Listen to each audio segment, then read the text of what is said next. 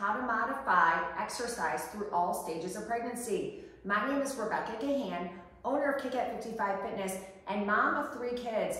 I gained between 50 to 70 pounds with all three pregnancies, so I'm an expert because I lived to survive it. So we hope you like our video and if you find it useful, please give us a like below, subscribe to our YouTube channel, and click on push notifications so you know when our next workout and or discussion posts. So let's get started with the first trimester. You've just found out that you're pregnant. You might be four or five weeks. You barely have two lines on a pregnancy test. And you can't see your doctor right away because they won't see you until you're eight weeks pregnant. So what do you do?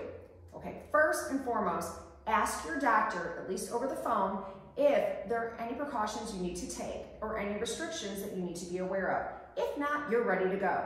Number one, the first thing that you can't do is go into a cone position. So that means you're lying on your back, you're on the ground, you're bringing your knees into your chest, and you're crunching. That is the first piece of advice I want to give you. That is a no-no. Now from there, you have to weigh in on what did I do prior to becoming pregnant? If you were engaging in high intensity interval training like Kick at 55 Fitness, then you can do that type of workout as you continue with your pregnancy. But if you were just doing, let's say, Pilates and yoga and more low impact exercise, then you're going to progress through your pregnancy with that type of workout. But pregnancy is not the time to start engaging in new intense activity. But can you engage in HIIT training like Kick at 55 if you did this previously and your doctor gives you the okay? Yes, that is the answer. So first trimester, you're wondering, am I shaking the baby up? Am I doing something wrong? No. All that you're doing is relieving your stress. You might be minimizing the nausea because sometimes when you work out, your body is focused on helping you deliver red blood cells to the muscles that need it. And so as a result, you might not notice all that nausea. That's kind of a plus. Also in the first trimester, at some point, you're gonna start to feel really tired, really exhausted. And again, that nausea might kick in. Is that the time to push it and say, I'm going to the gym? You're gonna be surprised with my answer. The answer is no. Listen to your body. You are creating all of the bodily functions and hormones and organs for the baby in the first trimester. So if your body's saying, I am barely awake enough to get the mail, then that's not the time to exercise. Trust me, you will have time the second trimester to do so. But if you wanna just lay on the couch and watch reruns of Felicity, which is what I did, then that's okay because you will more than make up for that in the second trimester when you're feeling much better. And again, if you have days when you just can't keep any food in, that is not the time to engage in any sort of exercise. Just get through the day. But on the days that you're feeling good in the first trimester, take advantage of them. If you feel like you're a little bit better in the morning, which a lot of women are, even though they call it morning sickness, then do a light workout in the morning. It doesn't have to be 55 minutes. It can be 30 minutes. It can be 20 minutes. Do whatever your body says you can do. But if you were doing tuck jumps, if you were doing star jumps, burpees, can you do those while you're with child in the first trimester? The answer is yes. And technically, you can actually go flat to the ground in a burpee. But let's not go there. Let's just say, no more going flat to the ground on my stomach once I find out I'm a child. Okay, so now let's talk second trimester. Second trimester is my favorite trimester. That is when the nausea usually subsides between 14 to 16 weeks and I start feeling like a person again who can actually leave the house. I had severe, severe, severe morning sickness with all three of my pregnancies. So, second trimester, you have a little bump, okay? Your pelvis is really starting to tilt a little, but it doesn't necessarily always look like you're with child, which is frustrating because you want everybody to know that you're pregnant and not just somebody who ate a lot of dinner rolls. Don't worry, you'll get there. So with the second trimester, that's the time when you can kind of go back to your normal workout routine. If you were lifting dumbbells, let's say you were lifting 15 pound dumbbells, you might be able to continue on for the first part of the second trimester. Can you use a barbell? Yes, if you're using 30, 40, 50 pounds, continue on. Can you do the cone position? No. That is, again, a complete no-no for the duration of your pregnancy. So, with the weights, initially, you might not need to vary at all. But then as you progress through the second trimester and your stomach is getting bigger, you might have to take the weight down proportionally. So what does that mean? If you were lifting 15 pound weights, maybe now you reduce it to 12 pound for upper body. If you were lifting a 40 pound barbell before for lower body, now it's a 30. But just because you are pregnant does not mean that you need to now reduce your weight by half, by 25%, by 50%.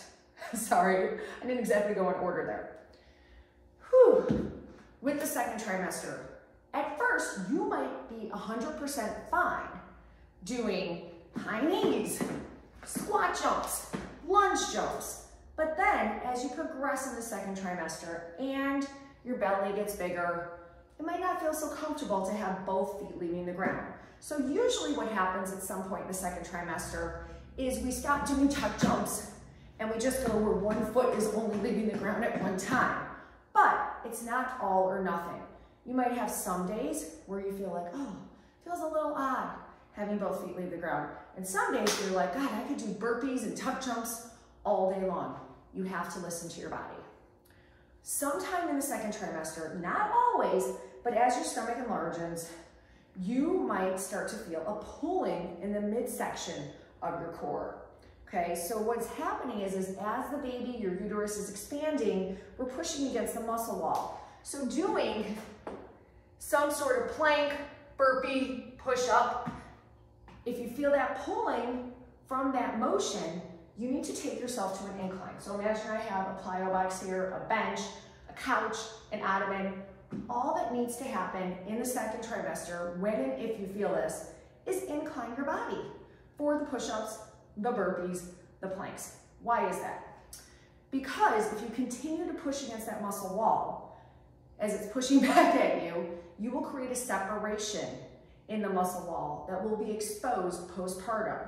If that separation is greater than two centimeters in diameter, in diameter, in centimeters, then what will happen is you will have something called a diastasis. Now, it's not the end of the world. You can usually resolve it with physical therapy, but let's not go there. Let's not have that happen.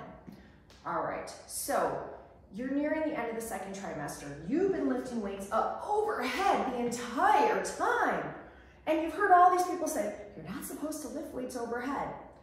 Nonsense, okay? Everyone is different in their pregnancy. I have women who lift weights above their head the entire pregnancy and they're 100% fine. And then I have women who start at 22 weeks and they're like, nope, not gonna do it. Here's why. It's nothing that's going to hurt the baby. We are producing, not me, but you, are producing a hormone called relaxin. This relaxin relaxes your muscles and joints and prepares your body to breastfeed. Even if you want, even if you decide you're not gonna breastfeed, you can't tell your body no. And this can make you more prone to injury. So as a result, we just wanna be careful. Little tweaks and pains, we need to listen. If you're lifting up overhead and you feel a twinge in your upper back and your neck, now you know it's time to stop. But again, it doesn't happen to everybody. It's not all or nothing, and it's not the same for all. Lying on your back. This usually happens to everybody, eh, probably around 25 weeks, but again, depends on how you carry. Women who carry low feel it a little bit later. Women who carry high feel it a lot earlier. I felt like this happened to me the day I went into the second trimester, lying on the ground. So whether you're doing exercise like a chest press, or you're just laying on the ground watching TV, or you're laying on the ground doing whatever yoga is for athletes, you start to feel like, oh my God, I can't breathe. Don't worry. Your body's sending you a warning signal. Everything is starting to push into the vena cava, which is then inhibiting your breathing. You are not going to suffocate. But it's now time to incline your head whenever you go to a supine lying on the ground position. Okay, that's all that is happening. So whether you're doing a chest press, you're doing a skull crusher, skull crusher, you need to elevate your head. That's it. All right, third trimester. You might be huge as I was. As I said in my intro, I gained between 50 to 70 pounds while I was pregnant. And that's because I didn't have somebody like me guiding myself, which is why I started Kick at 55, but that's another discussion.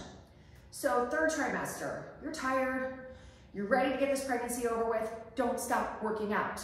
The more squats you do, the more active that you are, the better your delivery labor will be, the shorter you will be actively pushing. But again, we need to be smart. Maybe the second trimester wasn't the time when you had to stop doing tuck jumps, but now in your third trimester, you're definitely feeling pelvic pressure when you're jumping. Listen to that pelvic pressure. You do not want to put yourself into premature labor because you've been jumping around, not listening, or you're getting overheated. So when you feel either A, overheated, or you're feeling like there's some pelvic pressure, you need to sit down, elevate your feet, get some water, call your doctor. Always call your doctor if you feel pelvic pressure. And the reason being is we want to make sure that these are not real labor pains that are occurring. And don't worry, they're probably not. But again, you need to listen to your body. So we're going along, we're at 37 weeks. You're like, I feel great, I can keep doing this workout. Then do it. I have had tens, hundreds of women who do this workout up until the day they deliver. It is really important though that all along the way, you listen to everything from the second trimester, from the first trimester, about lifting the weights overhead. Maybe at 37 weeks, that's the magical time when you can no longer lift overhead. Again, you probably will have to stop lying on the ground sometime in the second trimester. The most important piece of the third trimester is to not cross that fine line between keeping yourself active and promoting labor and delivery and opening up your cervix, but not having it happen too early.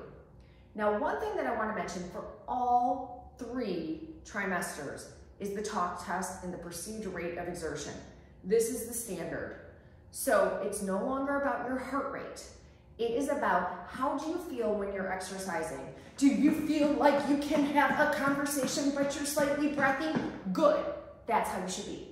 That's a seven out of 10 max on the perceived rate of exertion. But if you're like, I can't catch my breath, too high. Or if you're like, hey, listen, I'm gonna go out later. Well, now you need to crank it up a bit. Okay, so seven is the max, somewhere between five to seven is where you want to be. So that concludes all three trimesters. I can't wait to see you there. Follow our prenatal workouts and further discussions on YouTube.